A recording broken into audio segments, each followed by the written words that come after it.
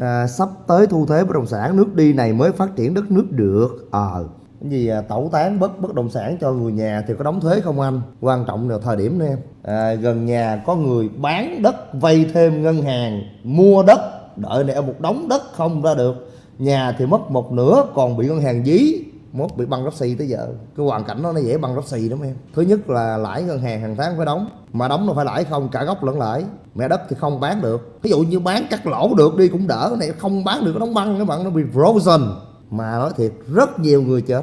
Việt Kiều chết cũng có nữa. Đó, Việt Kiều uh, cái, cái, cái gì cắt ca cắt cụm làm lụng bển mấy chục năm trời chứ giờ Việt Nam cứ vợ đồ xong rồi vợ nó thuốc cho dài bài rồi, không, anh ơi, chỗ kia nó mua đất lên quá anh ơi, anh tiền không để làm gì anh ơi, vô đi anh ơi. Mua vô 2 tỷ, bán ra 3 tỷ, lướt tay ngày có luôn anh. Gì ghê mày. Má mình mình ở bển mình cào cào vũ vỗ một tháng có 5 ngàn đô la. Còn này mày này ngồi không mà lắc đùi thôi mà có như là sang tay trong vòng 20 ngày mà lên có tỏi vậy đó hả? Chơi luôn em ơi. Như con thiêu thân trong đánh đèn mờ lao vào, tiền vốn mất con lô không đã mượn thêm nhà băng nữa quất ba lô. Những câu chuyện anh kể hoàn toàn có thật. Bởi vấn đề bất động sản nói tụi bay từ nhiều lần rồi.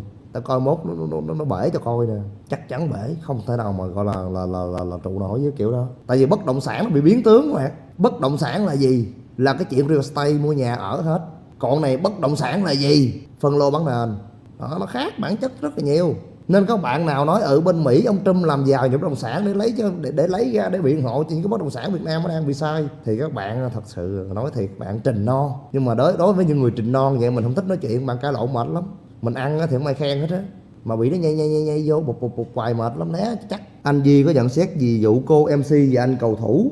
Vụ gì mày? À cái vụ không biết. Bữa nay anh lướt trúng clip. Anh thấy con nhỏ nào nó nói gì đó ừ, ừ, thằng nào mua vé máy bay cho nó đó rồi xong rồi ra gặp gì gì đó, không đi được đi tập gì đó rồi chỉ gặp ở trong phòng thôi cuối cùng phốt nhau. Vụ đó đúng không? Không biết phải không phải nhưng mà quan điểm của anh vậy. Anh không đánh giá cao. Những người con gái nhận quà của đàn ông xong rồi nói giọng đạo lý ok? Nếu mà người gái có lòng tự trọng đừng nhận quà. Nói vậy hiểu ý ở vậy. Đàn ông nó có quyền cô gái là chuyện bình thường. Con nhỏ chỉ đúng khi nó không nhận quà mà thằng kia đi theo phiền nó tờ lưa luôn. Còn bây giờ á, con gái mà đã nhận quà thì phải biết điều. Nên các bạn nữ thận trọng nha. Không có tình cảm duyên nào á, đừng nhận quà ẩu. Rồi sau này nói giọng thanh cao, nó tặng lại cấp lưng mấy cũ mà xếp.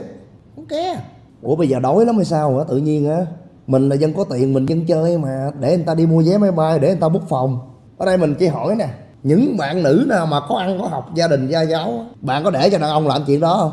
Thí dụ mà nói ừ em nghèo lắm, anh giúp em, ok.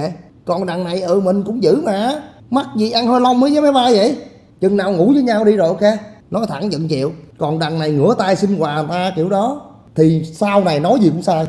Nó nên mấy bạn nữ cẩn thận. Đàn ông mà nó ghê lắm. Tôi đàn ông mà. Nó bung đồng tiền nó cua là chuyện bình thường. Mốt uh, mất công ờ, sau này chia tay gặp mấy khứa đòi quà lại. Thôi đó là mấy hoàn cảnh mà kẻ cướp gặp bà già thôi. Cũng nói tóm lại trong cuộc hôn nhân đó lộn trong cuộc tình cảm mà mây mưa đó có động cơ bào hay không nữa nói chung anh có nghe thoáng clip ờ, trên ờ, trên ờ, trên mạng lướt mà lướt mấy cái gì đó nó ra không biết vụ gì nữa cũng kể kể vậy đó. Rồi, xong rồi nhận vé máy bay nhận phòng khách sạn rồi xong nhận phòng thiệt đi thiệt luôn mày. Anh chưa nghe tới cái đoạn đó ông có nhận phòng thiệt đi thiệt thôi xong rồi. Hay nói trắng ra một cách phủ phàng luôn nhận phòng thiệt đi thiệt phải ngủ thiệt. Người ta đã gạ kiểu đó rồi. Ủa mắc gì cũng tặng tặng vé máy bay tặng một khách sạn. Nên các bạn các bạn ở đây các bạn bình tĩnh đi đừng phe ai đó mà nghe hợp lý không? Tôi đâu khùng tôi kêu tôi tôi tôi tôi mua tôi bút vé máy bay, tặng phòng khách sạn cho nhỏ nào để rồi nhìn nó tôn thờ làm thơ hả? Thí dụ như con nhỏ đó, nó kẹt tiền hay nói gì đó, mà tôi giúp nó, tôi chuyển cho nó đại hai chục triệu, làm như làm mốt, có tiền trả tao tôi hai chục triệu cũng có thôi. Chứ ừ mình rảnh quá đi vô đặt vé máy bay, vô lướt lướt, đặt vé máy bay phải có info. Ừ em tên gì gì đó, nếu cần cái số điện thoại nữa, ok không? Đó, thậm chí khó nữa, phải có giấy tờ chứng minh thư này nọ. Cũng rảnh lắm, đưa info cho người ta đặt vé máy bay. Info đưa cho người ta booking con gái mà bào tiền khác gì làm ca ve? Mày nói tục tiểu mày, làm ca ve, làm khách, còn này làm có người à. Hết người này mới tới người kia. Thời vụ nên em không được nói chuyện mà là không tôn trọng phụ nữ với tài trần trong cuộc chơi hiểu, nhưng mà để đó, tôn trọng nhau. Tại vì em cũng là tay chơi mà, em đâu phải là gì đâu. Em phải thư sinh ngày xưa đâu, bị hậu ly tinh vụ mày. Con trai như vậy giờ nhiều lắm, toàn anh trai mưa, u đầy. Đầy nói thẳng ra. Nhiều khi cái sự, cái cuộc sống xã hội này ai chả biết nhưng mà vấn đề người ta có thèm nói hay không thôi. Mày mở miệng chụp hình trong homestay này nọ, đẹp đẹp này nọ để đi ai à vô coi cái đồ phai thấy ba cọc ba đồng biết nghề gì nữa, đi nhõng đi đâu chơi hết mà chơi chơi toàn chụp hình trong resort không? Ồ, cái này lạ nhé. Con gái mà bất cần tình yêu có nên theo đuổi không anh? Mày rảnh vừa thôi say. Mày rảnh vừa thôi say.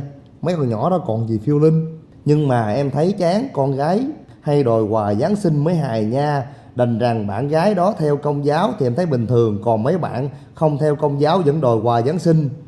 Đủ nó đúng nó ăn không ờ, nó ăn không của người ta đó mà, chứ đòi cái gì? Nó đòi quà giáng sinh được là ngày 24 tháng 10 nó cũng đòi, ngày 8 tháng 3 nó cũng đòi 30 tháng 4 1 tháng 5 2 tháng 9 1 tháng 1 gì nó đòi sạch hết à. Ô mấy con nhỏ ăn tạp nó nói làm chi? Bây giờ nó đòi quà nó tặng cái thiệp nó nhận không? Mấy con nhỏ ham ham hố vật chất tầm thường. Thí dụ nó ham hố lần luôn, nó quất luôn cái nhà không tức là mấy con nhỏ đó là biết chơi. Còn mấy con ăn tạp. Anh, anh, anh cho em 200 ngàn mua mua quần anh em cho 200 ngàn mua áo anh mà xin xin lần đi. Mấy con nhỏ đó là mấy con loser. Nói chung đó, nó vậy lắm em ơi. Nhiều uh, cái gì à, trai tứ chiến thì gặp gái gì đó. Cuộc sống này nó là vậy thôi. Quan trọng tụi em nằm ở cái last nào tụi em sẽ gặp người tương đương.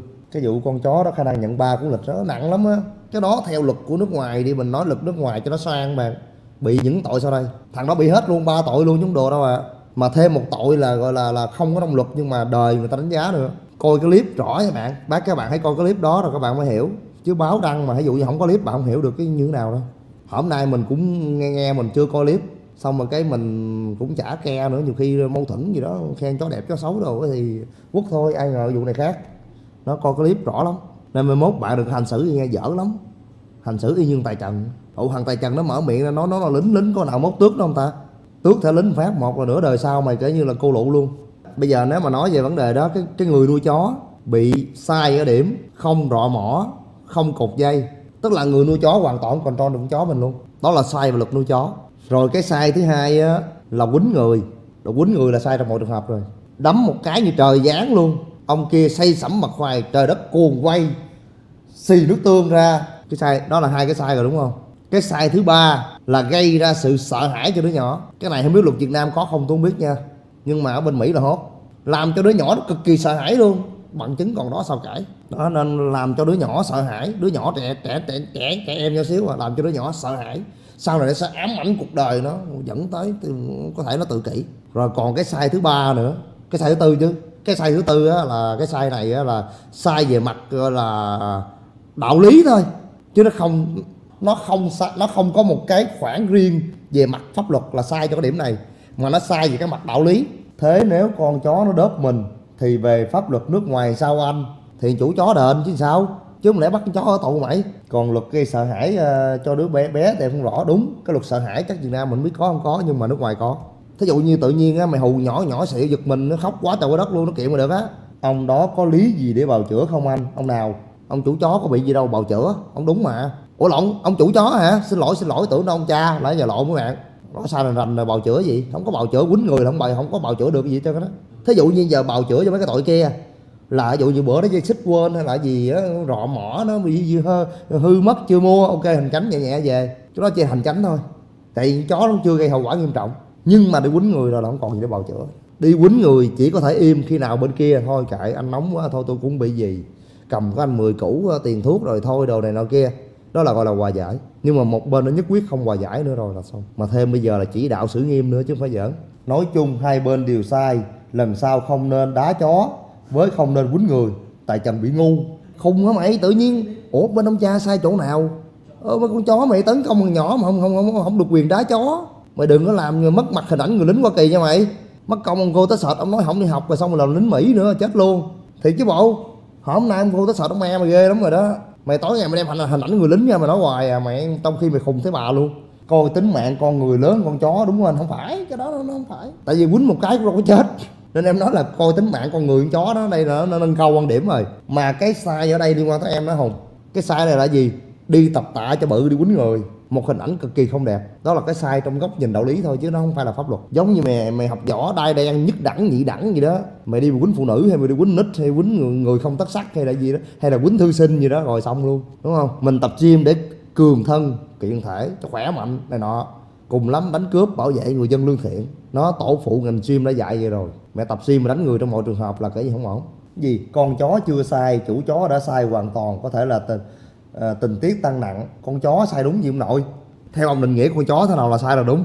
Con chó chưa sai nữa mới ghê chứ. Bên mỹ kiện nhau như cơm bữa chắc làm lo ờ ngon hả anh? Đúng làm lo ờ xuống người ta kiện mà mày. Nói chung ở bên mỹ á, hàng xóm mất lòng nhau cũng tại mấy thằng lo ờ á. Ở mấy thằng lo ờ nó xuống người ta kiện xàm không mà ê tao thấy cây nó nhả qua nhà mày giải kiện được á. Thí dụ như cái cây nhả nhả qua nhà thôi mày cái chuyện nhỏ xíu giải quyết qua nó một cái nó kinh lại thôi. Kiện luôn đi. Hai vợ chồng lương hai vợ chồng lương văn phòng 50 triệu có nên cho con học trường quốc tế không anh? 50 sao đủ mày giỡn ngoài đủ trường quốc tế không tháng ngàn đô rồi. Ngàn đô hơn ba chục rồi không lẽ còn hai chục làm gì cho nó? Ủa nó học trường quốc tế trường quốc tế đâu có bao ăn cơm ngày bao bữa đâu đâu bao đồ mặc đâu mày. Đúng không? Đâu bao đồ tết đâu. Hồi sách vở trường quốc tế mũi mày ơi. Trường quốc tế sách vở có đầu cán. Năm cùng lắm chục triệu cùng. Chục triệu quy ra 400 đô. Mũi so với phí? Anh à, cái gì? Anh duy thử binh cây bài này xem một bên làm sale cho công ty lâu đời ở Mỹ lương 5k một bên làm sale cho công ty mới lương 6k mà suốt ngày bị người khác tới gài làm kèo, hỏi sốc thì bên nào hơn? Đậu đương nhiên bên 5k hơn rồi mày. Đúng không? Bên 5k là bên công ty lâu đời lâu đời chứng tỏ nó khó phá sản. Còn thằng kia mới lóc nhóc lóc nhóc lên làm cho nó. Thứ nhất là bị bệnh stress. Một một một ca tiền stress đó. Với thứ hai nữa, không biết tương lai ra sao ngày mai nữa. Rồi cái thứ ba nữa, sau này cứ lỡ có nhảy đúng không? Lỡ có nhảy gì đưa lịch sử ra người ta làm ty kia lâu đời này nó phơ đủ hồ sơ ngon cv đẹp nữa. Nghĩ sao? Binh binh binh với ẹt luôn. Còn cần gì binh. Vì em thích người ta mà người ta không thích em. Còn dằn vặt em nữa thì sao ạ? Nó không biết trân trọng một người yêu thật sự. Kiếm khác em. Kiếm em đó chẳng hạn. Con nhỏ kia gặp em ở coffee store. À, nó chưa tiếp xúc mà nói với bạn em nhìn. Em trí thức nhưng hơi râm. Nó có vô duyên không anh? Nó gạ mày á mày ơi nhiều khi con gái phải giả bộ vô, vô, vô duyên vậy đó để để để để gạ trai nha. Nhỏ em em học nurse ở Canada. Nó bắt phải chăm sóc người già không kiểm soát được vệ sinh trong 4 tháng. Mới cho xét học tiếp hay không khó ghê. Ờ thôi căng mày. Chuyện nó chuyên môn rồi. Gì ngày mai trong đảm xuân xanh nảy em gái an nhiên theo chồng bỏ cuộc chơi. Trời kệ chuyện chỉ đi giả nội personal.